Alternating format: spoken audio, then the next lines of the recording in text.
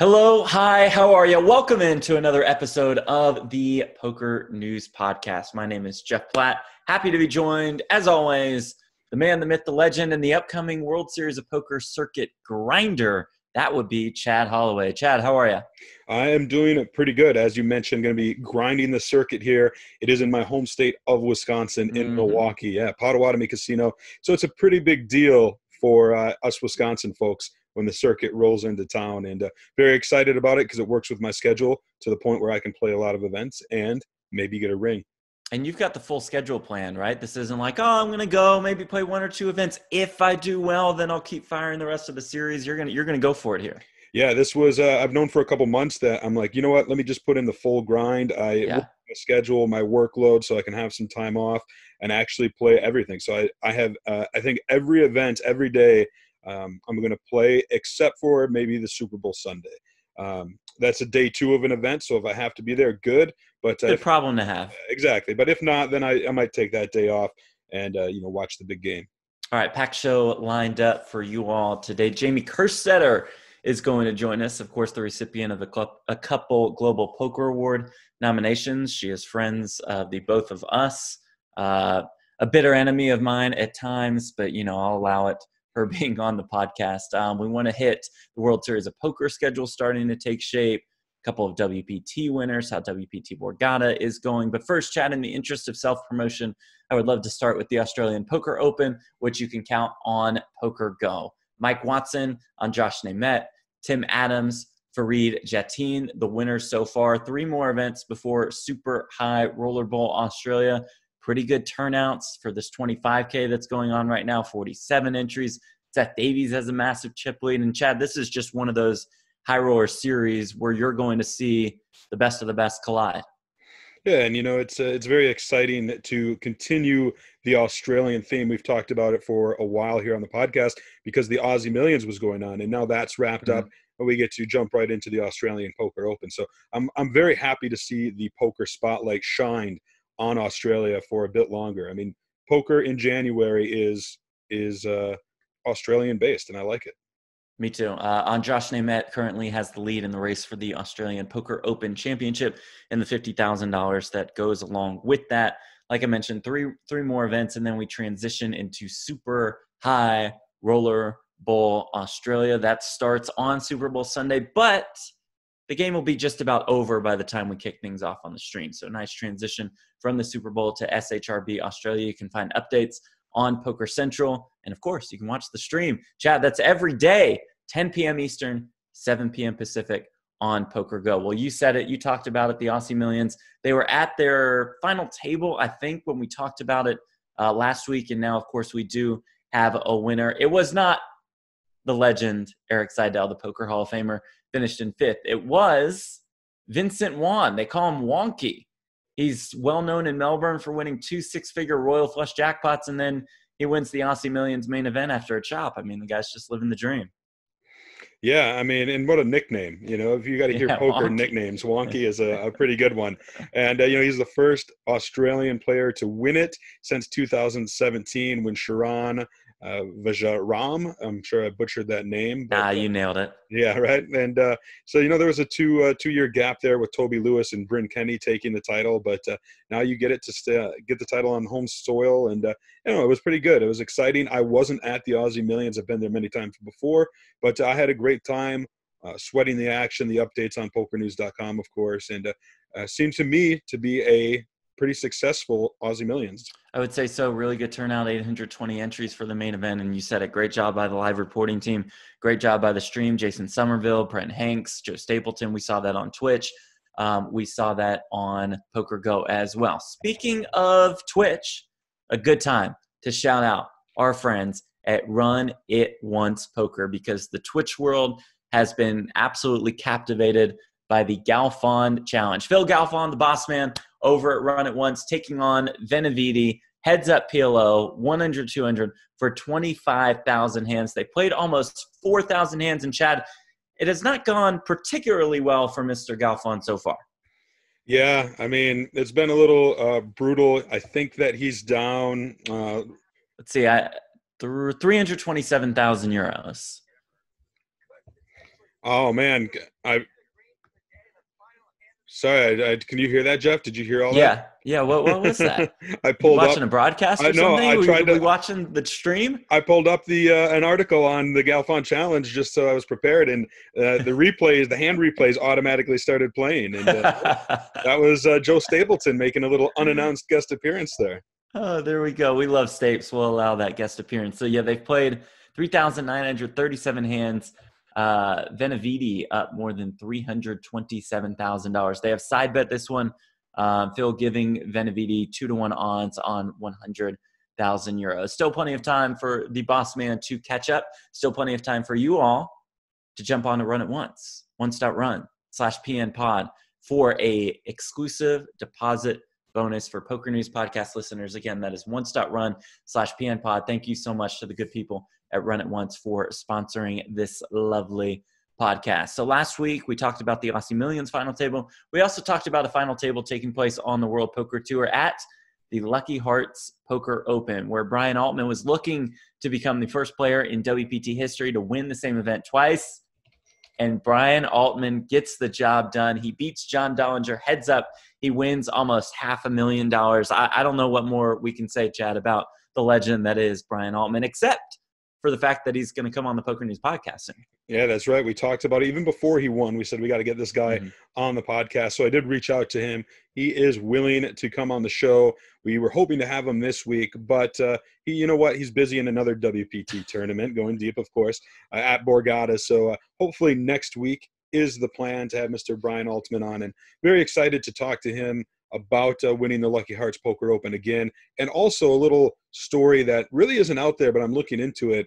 Is after this tournament finished, I noticed on social media that Jake Dollinger, who finished second, uh, challenged Brian Altman to a heads-up match for I think hundred thousand dollars, and Well, I'm not sure the details behind it, the inspiration behind it, whether it's good-natured or a legitimate feud or what have you. I've reached out to uh, to Jake Dollinger, and the last update I got was, "Do you want the long uh, the long version or the short version?" ooh, you got And, uh, time? Yeah, I said let's yeah, let's have the uh, the long version. So who knows? Well, uh, maybe I can find out a little info and uh, have an update in next week's episode.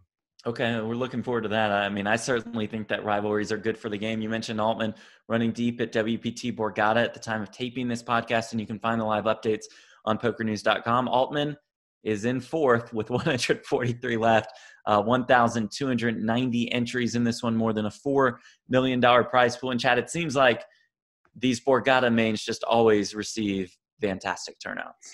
Yeah, I mean the Winter Poker Open is their biggest one of the year, and this one was no exception.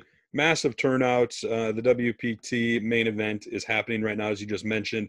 Another tournament that's taking place is a fifty-one uh, hundred dollar buy-in high roller, and this one's exciting because Borgata's never put on a high roller event before, and so you know I remember talking to some of the organizers before the series.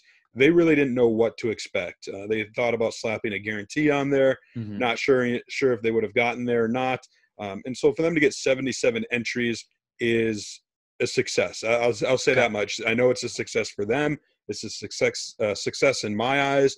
Um, you know, I was thinking more around the 50 number, if that. I mean, 5K is a big buy-in, so um, it's more than the main event, and uh, good good on them. I think uh, it's setting the stage for future high roller events at Borgata.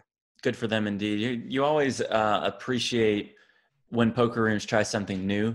It'd be very easy for Borgata, based on their successful track record, to just basically run the same series over and over and over again. For them to throw a couple of these high rollers into the mix uh, makes a lot of sense, and I, th- I think is really good for both the players and the poker room. And speaking of high rollers, Chad, fantastic transition.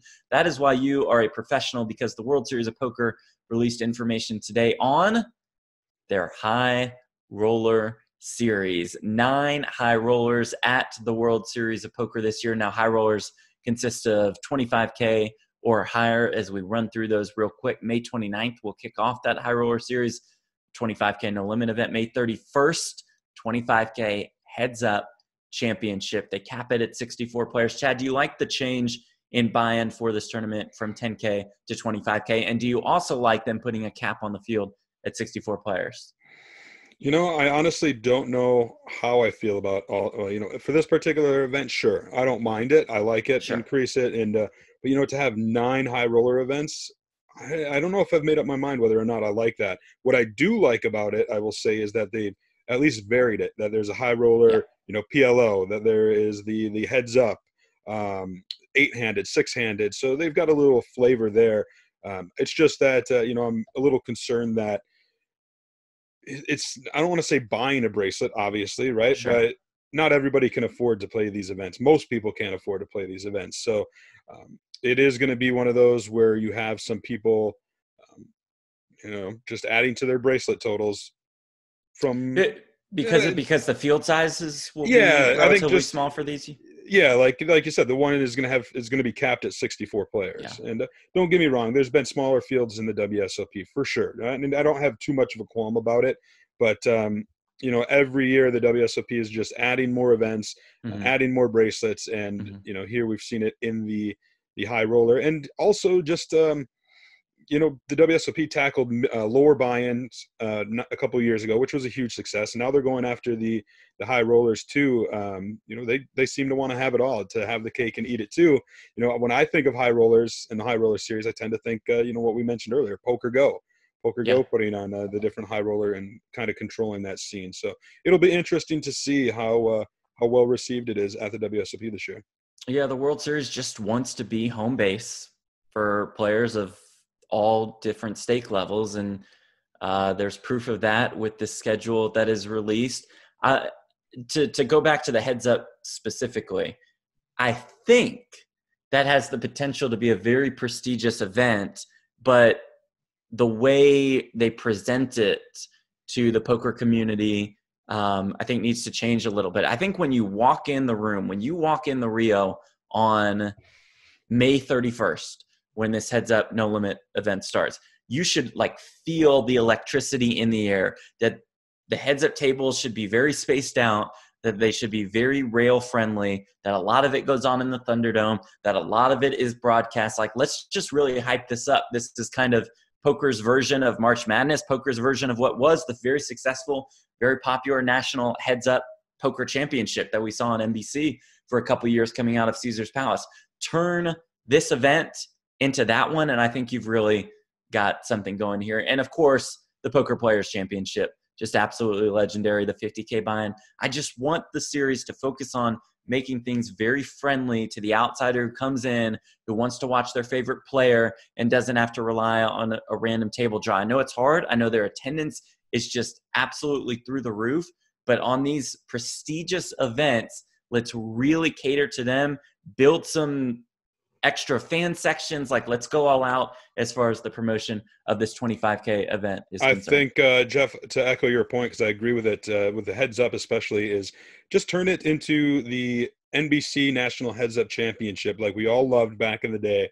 But uh, make it bigger make it better you have mm-hmm. Mori Eskandani, the man behind uh, behind the NBC Heads Up Championship. So he knows what to do. He's got the formula, and uh, I agree. Set a room aside, get the heads up tables there do something fun make a, a party atmosphere for the draw you know where people yes. when you're drawing the heads yes. up matches and uh, yeah i agree that this has the uh, they, they have an opportunity here to make this a very special event to make it a very special way to kick off the 2020 wsop and hopefully you know it gets a lot of the fanfare that it should but uh, you know time will tell because th- theoretically you're going to have the field set the night before sure you'll have the 25k going on earlier, but the final table will be the day of the heads up. So you're going to have your field set. I believe this will be capped probably by May 30th. So you could have a, a draw party, and I think that would really hype things up um, for this event. So that covers the High Roller Series. Chad, you touched on it briefly. What do you think about this quote unquote value menu? at the World Series. As we saw last year, the World Series starting to incorporate buy ins that are not just $1,000, but $1,000 and under. So on this calendar, and you can check out the WSOP schedule on Poker News and on their website, you're seeing events that are $800, that are $600, that are $500. Your thoughts on these? You know, I love him. As somebody who spent a lot of the time, uh, a lot of my career covering the mid majors, you know, I know the atmosphere, the hunger there are for events like this.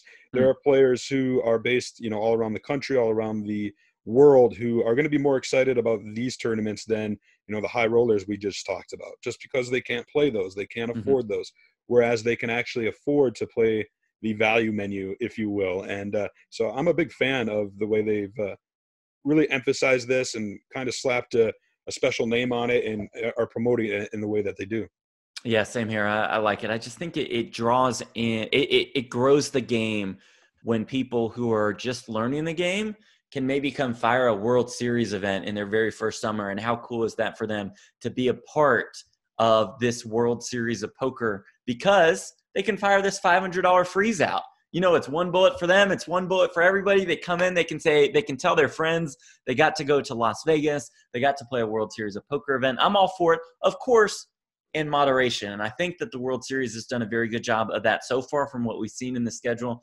especially Chad when it comes to reentry. So many of these events, it's one reentry max or one reentry per day max. And I, I, really like what the series is doing. Chad, do you like what the series is doing in this mystery bounty event. It is a $1,500 buy in, $1 million guaranteed in bounties, bounties being of all different price points. Most of the bounties are going to be worth $100, but you have some special bounties that are worth more. You have one very special bounty that is worth $250,000.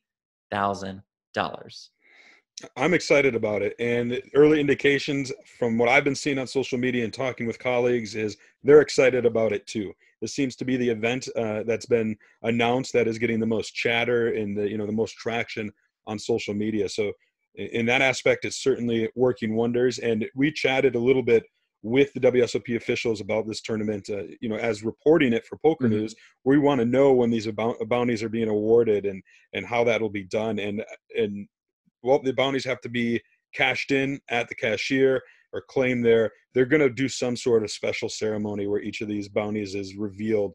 I don't know the mechanism yet or the details on it, but I know that it's in the back of their mind that they have to do something and they're going to work on that. So I expect details on that in the coming months, and uh, it's just going to be fun. You know, like it could yeah. happen. You play the first level and bust, and somebody could win two hundred fifty thousand dollar bounty in the first first ten minutes or something. It, it, it, that would just be incredible. And um, and imagine if this tournament goes late day two, early day three, and nobody's won the 250k bounty yet, and how that how much more valuable each little bounty becomes. It's just a, it's a fascinating tournament to me. I love how the World Series continues to try new things. All right, Chad, you are off to a World Series of Poker Circuit event. Hopefully, you can do as well as either Lytle Allen did or Aaron Gamino did. Lytle Allen takes down WSOPC Horseshoe Tunica main event. He takes home more than $144,000. And your casino champion is Aaron Gamino who won one ring amidst multiple cashes. He has two World Series of Poker circuit rings. Uh, so pretty good turnout in Tunica, I guess, Chad, as expected. Yeah, Tunica actually has always traditionally drawn well for the circuit, draws from a lot of the Southern crowd. And looking over the winners list, some familiar names there. Blake Whittington won event number two, a $400 no limit tournament for almost $20,000. I think it was his sixth, maybe seventh ring. Michael Lech, who seems to be winning a ring every other stop. He's and he's I think he's got nine now, and five wow. of them have come from different continents, which is a, a, circuit record. And then uh, a guy, shout out to Sam Washburn, took down event. number. oh yeah, with the stash, right? Yeah, with the big old stash. He was fresh off winning the uh, Run Good Poker Series hmm. at Hard Rock Tulsa, so that's where I got to know him. And it came two years after he won the WSOP Circuit Tunica main event. So uh, I got an affinity for Sam because when you look at the guy, you think, you know, oh, here's just another wreck that I'm going to run over. But man, Sam's Sam's obviously got some chops. Um, also, shout out to a really stacked final table. Scott Stewart finished in sixth. Greg Jennings out in eighth. Kyle Cartwright out in third. Brian Pacholi, the czar, out in second of the main event. Chad, you mentioned Run Good, and I would like to encourage everybody to check out Run Good Stop in San Diego coming up on February 18th, the 18th through the 23rd.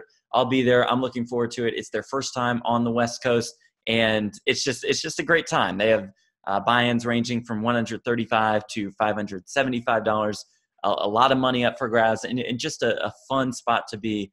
A great environment. All right, Chad. As we wrap up here who you got in the Super Bowl? Do you have the Chiefs or do you have the 49ers of San Francisco? Well, before I reveal my pick, let me just say that I'm very excited about this Super Bowl. The Green Bay Packers did come up one spot shy, mm. disappointed in that, but I do feel that these are the two best teams in the NFL of the respected uh, uh, respective conferences. So I'm just very excited. I think they're two high-powered teams. I think it's going to be a great game, and honestly, probably the Super Bowl I've been most excited about in the past 10 years or so.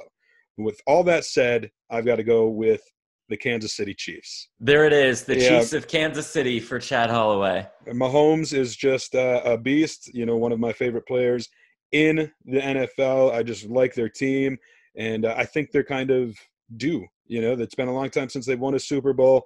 Um, Andy Reid needs one of those uh, rings on his fingers, and uh, yeah, I don't know. They just uh, I hope they get it done.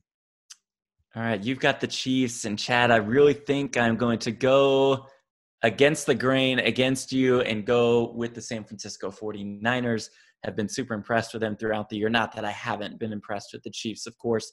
Um, what I do really like, though, Chad, is one prop Jimmy Garoppolo over 19 ish completions. I think after last week's and or the week before against your Packers, everybody's kind of panicking, like, oh, he's just never going to throw the ball. I think the game will play out a little differently. I think there's a little bit of extra value in that over uh, completions. And that that tip, Chad, is free of charge. No tout service here. Our gambling selections uh, come for free. What what are your plans for the Super Bowl? So you're either going to play uh, day two of this circuit event or what?